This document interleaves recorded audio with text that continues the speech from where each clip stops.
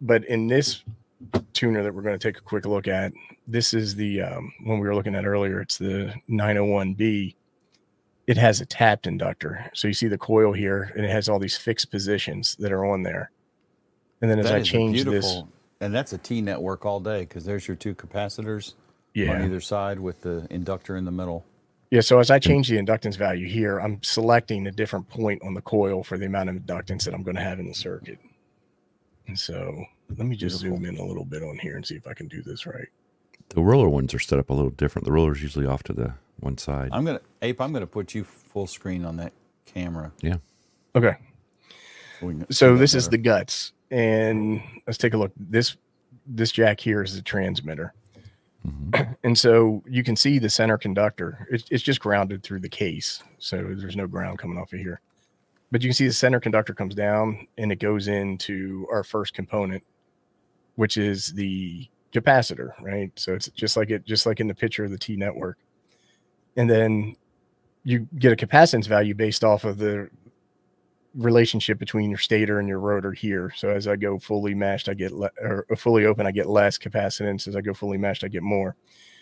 And then on the other side of that, this this uh, capacitor, we have another tap, and you can see this this wire just runs straight over to the other one, right? And then this same kind of circuit, and it goes down and it comes down and goes right out this coax connector, which is what would go to my antenna but there's also split here. So if I wanted to use a single wire or balanced line, Mhm. it's tapped there.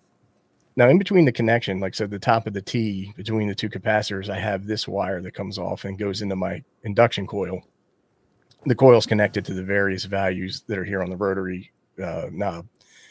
But then down here at the bottom, you can see my coil goes to ground. So this is the bottom of the T, and then those two parts are the top of the T and it's really simple to see in this particular tuner, which is why I wanted to show it. It's a really, really simple tuner.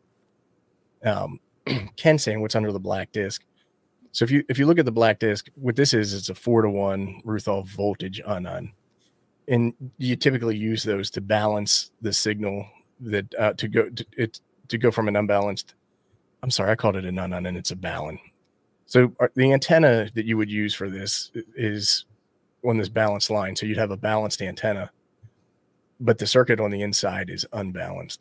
So you use this to achieve the balance in in um, in, in your in your transmission in your signal.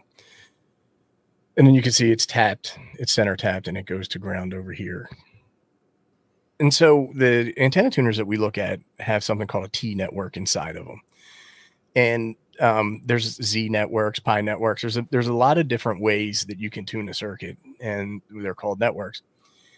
When in amateur radio tuners, one manual tuners, one of the most common things that you'll see is a T network, um, and there's a couple of different reasons. They're simple, right? So they're they're easy to work on, they're easy to tune, and they're very very wide banded. So they work across a large range of frequencies. Now, one thing about a T network is it is not real. It's a it's a high pass filter. So that means that when you have your have it tuned at a particular frequency, everything higher than that will pass through that network. So what it does not do is it doesn't work as like a bandpass filter where it would attenuate harmonic frequencies at higher frequencies. Um, so that's a little bit of a get you um, if you have something that generates like spurs and stuff like that. So you'll see even T networks inside your radio, but then you'll typically see like a bandpass filter uh, after it in between the T network and the antenna. Um, I just said this configuration of components used to match impedance of an antenna system. That should make sense after everything we talked about. The impedance of the transmission and receiver consists of three components arranged, arranged in the shape of a T.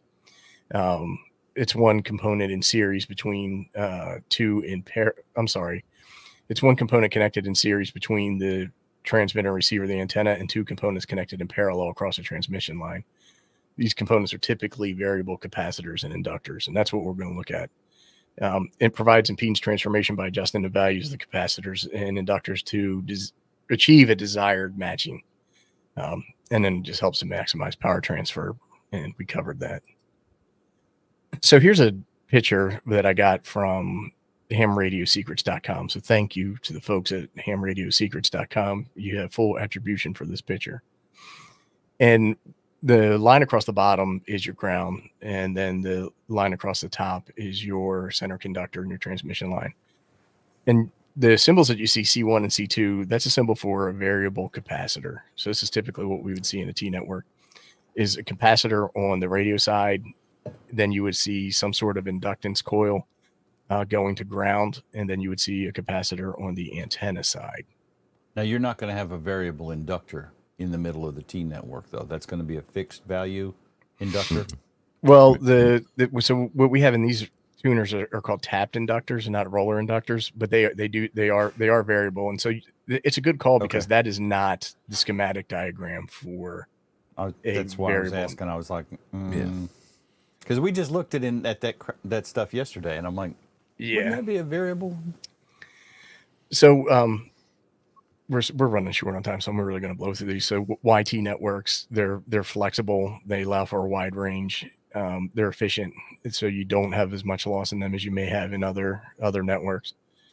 Um, I think I mentioned earlier they're simple, so it's a simple design, easy to build, easy to work on, um, and then adaptable. They they can be adjusted or tuned to accommodate changes in operating conditions, uh, different frequencies, different types of uh, antennas. So they're they're they're just very flexible, and that's why they're so popular in these types of devices.